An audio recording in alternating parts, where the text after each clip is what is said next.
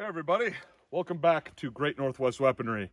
This is Thomas, and today we are taking a look at the Carl Gustav's model 1896 Swedish Mauser. Uh, this thing is mm, just, it, it's, it's gorgeous. It works flawlessly. Every, everything about this is maybe the nicest condition rifle in my entire collection. And uh, they're, they're very interesting. They're one of very few Mauser designs that is actually a cock on close. You can see here, the bolt actually cocks as you close it like an Enfield. So uh, they're based on the Swedish, or excuse me, the Spanish Mauser model 1893. And uh, before we get too far into that, we're going to just go ahead and go into the gun room and start talking history. I should start this by noting that we're going to be mentioning a number of rifles that we've never looked at or discussed on the channel up to this point, and we're going to be just kind of glossing over them. So if we ever do get our hands on, namely, the Spanish Mauser Model 1893 and the Remington Rolling Block Model 1867 or 1867-89, we'll cover those more at another time. But this is the most recent rifle I have acquired. This is uh, another one picked up from my friends at the Warfront, and it's a beauty. I'm I'm really happy with it so far, and it's there's a lot of history that goes into the Swedish Mauser, and with Sweden being uh, a neutral country in World War One when the Swedish Mauser was new on the scene ish you don't really hear an awful lot about them, uh, and you didn't really hear an awful lot about them until recently with the prevalence of uh, the 6.5 millimeter cartridge uh, finally coming to the fore, uh, namely with the 6.5 Creedmoor. But the sudden rise of 6.5 Creedmoor definitely drew attention to other 6.5 millimeter cartridges, 6.5 by 55 Swede being one of them, of which is what this gun is chambered for. So We'd already briefly mentioned the Remington rolling block. Sweden was looking to replace the uh, aging model 1867 Remington rolling block, uh, originally chambered in 12.7 millimeter black powder cartridge. Uh, they had updated these guns to keep them in service a little longer, I believe in 1889, uh, altering them to the 8 millimeter Krag cartridge. Uh, I think it's 8 by 58 rimmed Krag, and they still wanted the, the a new gun though. So in 19 or 1892, uh, trials were started on a new rifle, and there were rifles submitted by Mauser, Krag Jorgensen, and uh, Steyr Mannlicher. And in the end, the Mauser won, and initially it was ordered in 8 millimeter Krag, of which we've mentioned a few times, and I keep on forgetting what it's called. The 8 by 58 Krag was what the original order was chambered in.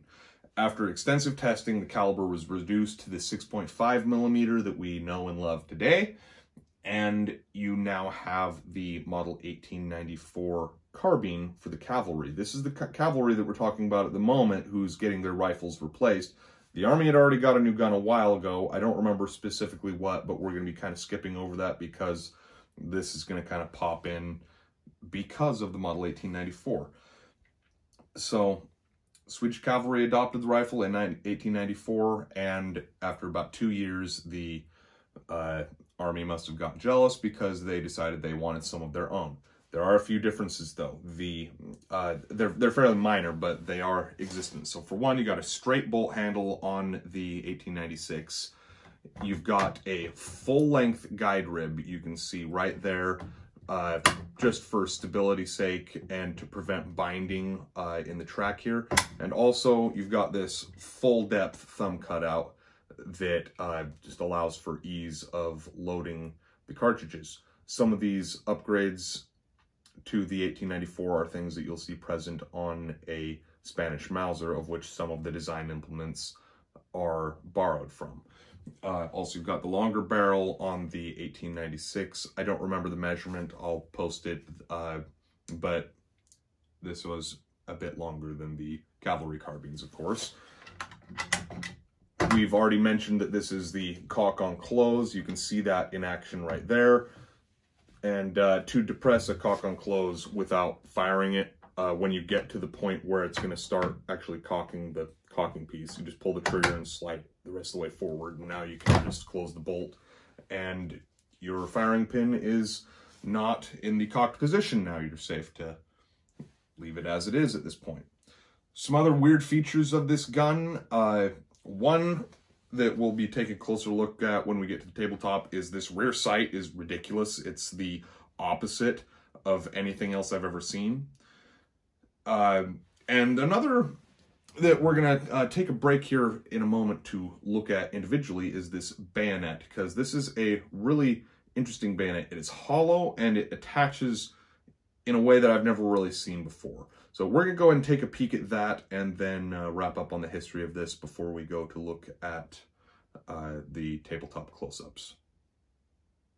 As I'd already indicated, attaching this thing is kind of different. So you can see it's hollow, it is all steel, and it has this little lug thing here. So let's get the uh, end of the barrel in frame so we can show you how to attach this. So that lug is going to stick into this little dimple right here. Just slide the hollow bit over over the cleaning rod and then you got the barrel ring and then this little dimple just attaches right there. Now it's on firm. You can pull that out to remove the bayonet comes with a rather nice uh, scabbard and frog. And yeah, managed to find a pretty complete set and I like it. So now we've reached the point where Sweden has officially adopted for their army the Model 1896. Uh, at this point, they would order about 45,000 from Mauser Oberndorf in Germany. Uh, and this would allow some time for the Swedish state factory, whose name I'm going to try to pronounce, the Carl Gustav Stads Gevärs factory, or something close to that, allowing them time to tool up to start making these rifles in-house, so to speak. Um, this would be accomplished in 1898, and you'll start seeing both the 1894 carbine and the 1896 rifle being manufactured here from this point on in the story. Uh, from 1898 until either 1930 or 32, by the way, they would make some 475,000 of them, being by far the biggest manufacturer of them. An approximate 535,000 total were made. So, you know, well over three quarters of the uh, total amount of rifles made was made at the Carl Gustav's factory. Uh, you would also see them, you know, the, the 45,000 from Germany and uh, Husqvarna also, the same Husqvarna that to this day is making chainsaws. You will see some of these made by them as well, especially later on in their life. And uh, as far as with the Carl Gustav's models, I've seen the date that the production ended uh, stated as both 1930 and 1932. So we can accept that it's in the early 30s that they stopped making them, but the exact date seems to be of some contention. Uh, contention that I'm not going to weigh in on because I've got a sample size of one to discuss here. But even with that, there there's quite a bit that we could that is telling with this. So this is a 1915 production, and uh, you could call this an early production, though uh, really it's kind of a middle of the road production. But uh, generally you can kind of gauge whether it's an earlier or later rifle based on the wood at a glance. So this is a walnut stock. You will also see them in elm and beechwood. You will mostly see this uh, later into World War One and after World War One. Though Sweden was neutral in World War One, there did kind of come to be a bit of a uh, uh, a shortage on French walnut at the end of World War One, when you had, you know, every country in the world using walnut in their rifles pretty much. But, so yeah, the walnut stock actually is part of what drew this to me. Uh, I don't remember if I already mentioned that I picked this up from my friends at the War Front, but I did. And uh, a lot of that had to do with just, just how striking it is. I took a glance at it and was like, ooh, oh, that, that is a fine looking rifle. I would like to have that. And, uh, you know, now I do. and I love it. I really do. But yeah, a couple more little events worthy of note before we go to the tabletop. Uh, this gun did actually, in a couple of instances, possibly see uh, kind of its uh, trial by fire. So uh, your first instance of this would be in late 1939, early 1940, during the Russo-Finnish War, or the Winter War, of which we've discussed several times up to this point. Um, the Finns were chronically short on rifles during this conflict, and they did order a pretty substantial amount of these uh, to fill in for the the uh, like second line reserve units. Uh, they didn't see an awful lot of frontline service. They were preferred over the Italian Carcano, um, which, speaking of which, that's gonna that'd make for an interesting uh, versus video, but that, that's for another day. Uh, you'd also see a instance where uh, Norwegian troops escaping from Norway after the German occupation were armed with the Model 1896. Uh, they fled to Sweden and were reorganized into police units. Uh, they would later return to their own country after the Germans were booted out. Uh, one, one more uh, thing that they popped up in was a particular event in 1944, of which would then being sent to uh, uh, Denmark for use by the Danish resistance.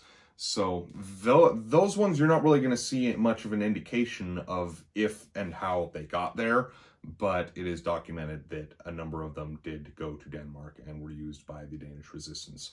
Ones by, used by Finland, it's pretty obvious they've got the big ol' SA stamp on them. And the ones used by the Norwegians, to the best of my understanding, aren't marked as such. And yeah, that's that's about it as far as the travels of this gun. Uh, they stayed in use until 1962. They were replaced by the AK-4, which is an HK G3 derivative. And they stayed in um, in reserve until the 80s, and at which point they started being liquidated and shipped out to lucky guys like me who get to enjoy this wonderful rifle and the wonderful uh, experience of shooting 6.5, which is a really pleasant cartridge to shoot and ballistically very similar to 6.5 Creedmoor, which, you know, 6.5 Creedmoor is kind of the wonder cartridge right now. It's I've not seen a cartridge in my lifetime catch on so rapidly, uh, especially after the fact that it had actually been around for a while before it went haywire. But if we ever get a 6.5 Creedmoor rifle, we'll talk about that more. But yeah, let's go ahead and go to the tabletop and look at some of the smaller details, uh, such as the uh, disc and range card and uh, removal of the bolt. We've only got a couple of things to look at here. For one, we'd already mentioned this very peculiar rear sight. So you adjust it by depressing this and then walking it backward, of which is kind of a pain, really. But you're starting here at your, you zeroed at, I, I believe it's 300 meters. Uh, most of these European guns are going to be in meters, not yards.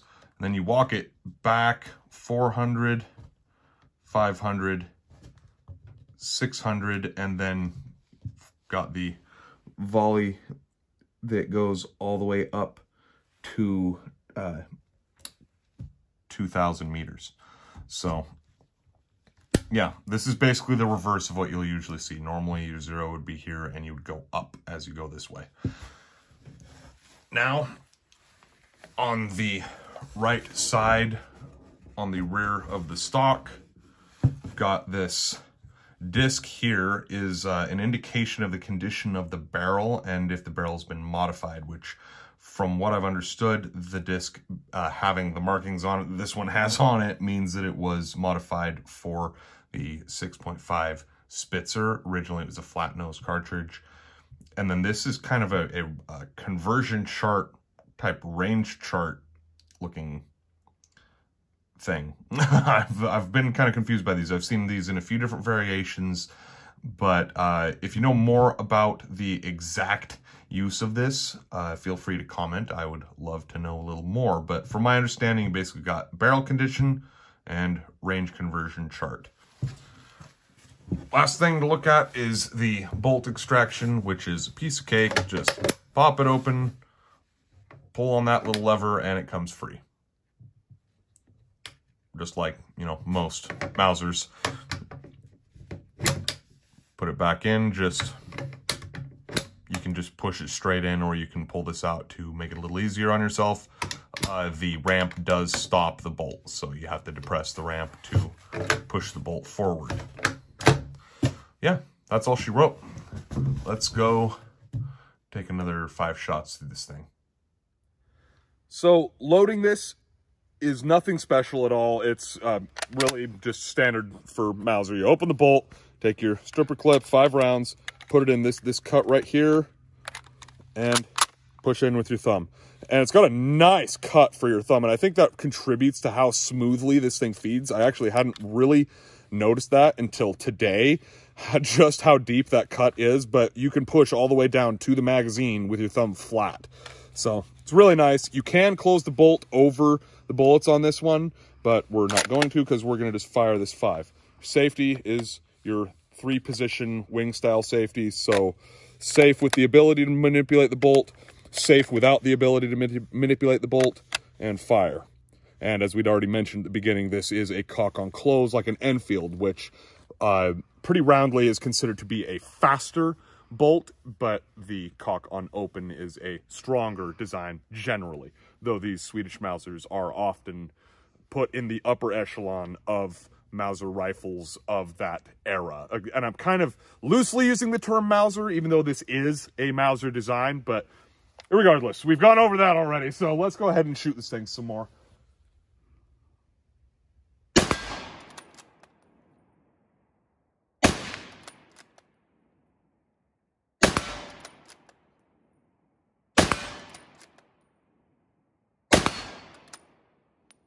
Oh, it's just so nice.